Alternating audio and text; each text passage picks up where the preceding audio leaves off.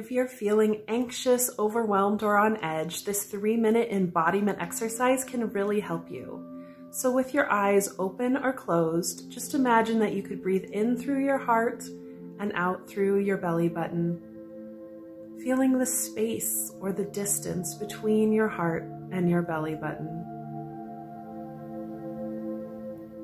Imagining that you could breathe in through your throat and out through your fingertips feeling the space between your throat and your fingertips.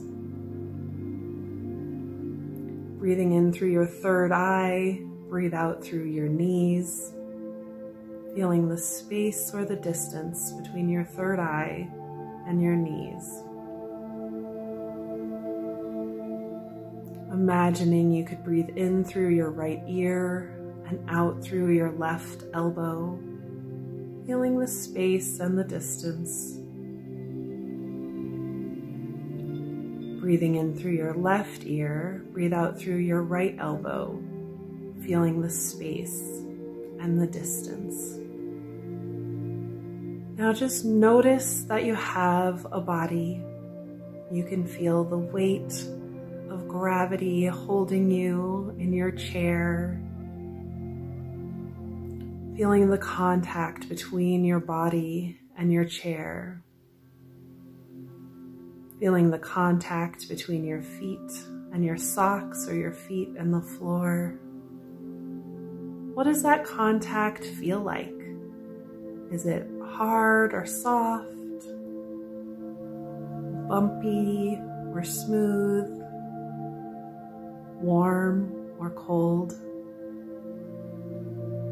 Breathing, feeling the space within, feeling gravity, feeling your feet. Imagine you can breathe in and out through your heart and feel the space between your eyes while relaxing your tongue to the floor of your mouth. Imagine you could breathe in through the crown of your head and exhale out through the soles of your feet, feeling the space within, feeling the space around you, and feeling gravity. Now, gradually and gently open your eyes if you had them closed, and with a broad awareness, just look around your environment and find the smallest red thing.